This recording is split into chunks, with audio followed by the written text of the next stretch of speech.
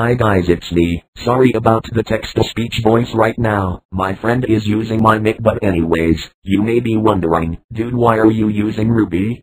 Well I'm using marker for something else you'll see in a day or two, anyways, you might see something different, I'm using L mouse.